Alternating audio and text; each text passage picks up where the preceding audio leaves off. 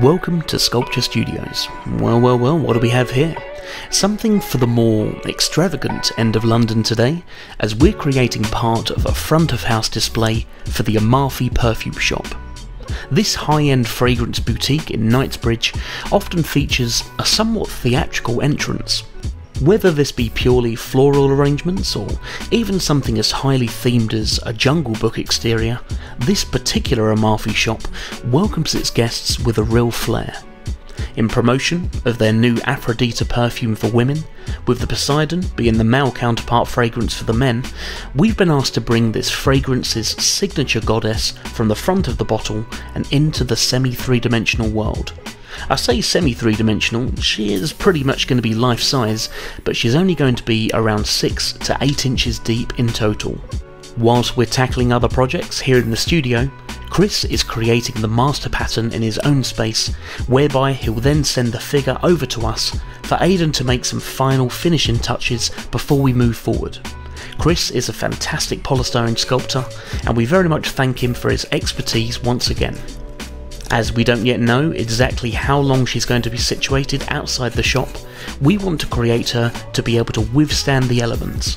This allows the client the freedom to extend the duration outside if they'd like to. With this in mind, over the polystyrene form, she's going to be coated in our secretly sourced sticky back tinfoil, and then we're going over with a polyester resin and glass fibre mat. She will then have the surface worked up to a good finish, whereby we'll be going on with gold paints to create the final effect.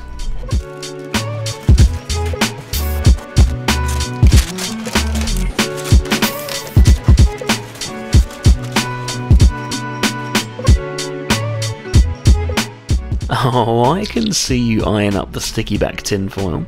Why don't you drop us an email?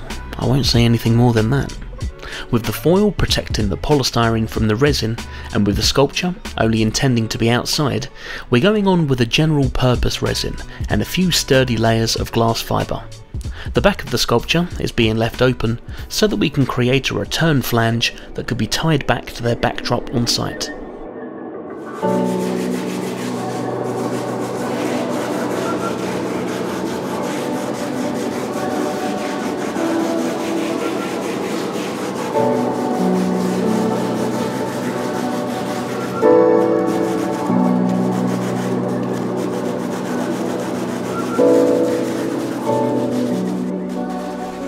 After sanding down the glass fibre surface and removing as many sharp points as possible, Aden's now going over with a resin flow coat. This floods the surface and helps to remove that fiberglass matte texture. This process is then repeated and cleaned up until we achieve a much smoother form. For installation on site, the easiest way to secure this to what we imagine to be a backing wire frame is simply zip or cable ties. This will save on any additional metalwork or any internal fixings to be required. We're going to remove some of the polystyrene from the back of the form just so that these areas can be accessed easily and we're going to insulate the rest with the sticky back foil to save on any damp from affecting the foam inside. When it comes to the exterior and the finishing look of the sculpture, it's one of those projects where we're directly replicating something that already exists and we're simply blowing it up in scale. Naturally, we're conscious of achieving things like the correct colours, and so we're doing numerous tests with various gold paints, but we're trying to pay particular attention to the level of detail and to not go too overboard and deviate from the original design. With something that's so small, just a logo on a perfume bottle, there's only so much detail that's evident on that sort of scale. When it comes to blowing this up, Yes, there are areas that need refining, and to enhance this, it needs a little artistic interpretation, but we're still trying to stay true to the original form.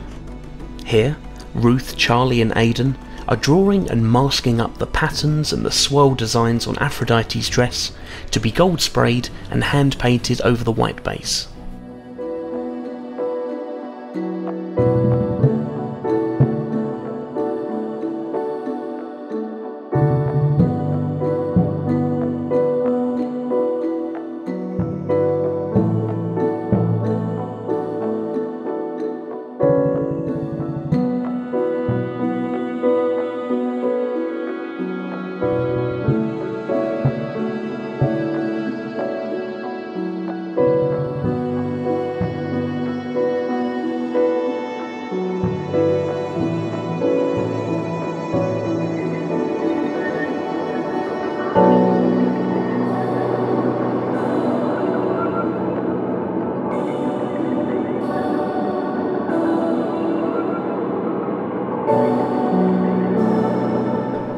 With everything now complete here in the studio, it's off to London to the Amaffi Perfume House on Sloane Street in Knightsbridge.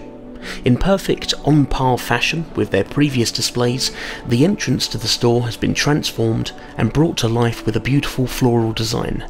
Our Aphrodite features as a prominent part of the display as a nod to the individual fragrance.